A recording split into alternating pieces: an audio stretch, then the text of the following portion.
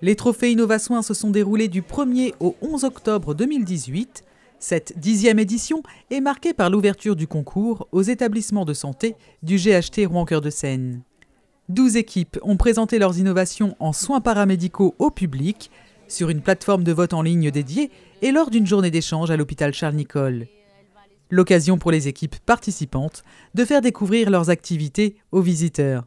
On communique par visioconférence. Donc nous, on est dans le bureau. C'est un genre de Skype, non? Voilà, c'est ça, mais en grand écran. Ah, Et médicalisé, parce que vraiment les informations sont sécurisées, ça ne peut pas diffuser. Une remise de prix a récompensé les quatre meilleurs projets. Le service de soins palliatifs du CHU a reçu le premier prix du jury pour son projet Le repas comme soins personnalisés. Le coup de cœur du public, quant à lui, a été décerné au centre hospitalier de Darnétal pour la mise en place d'une chambre des erreurs pour prévenir les chutes.